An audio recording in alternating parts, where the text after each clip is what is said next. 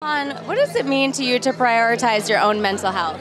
Wow, it's, it's needed. It's definitely needed for all of us so we can stay productive and be important to others, you know.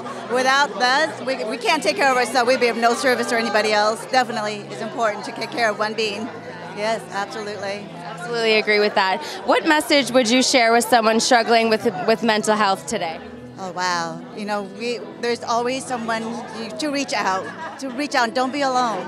You cannot be alone. You know, we feel it. We need to be able to share it. And, you know, to reach out to someone who can you trust, and don't don't, don't not to be afraid. Oh my God, not to be afraid. I absolutely love that. Now, what what is the motto? When feeling blue, think yellow mean to you for tonight's foundation? It's an amazing model. You know, we can't be blue all the time, right? You get the yellow to bring us this light, so we really need to have that. It's definitely an amazing model. Thank you so much for showing your support tonight. Thank you.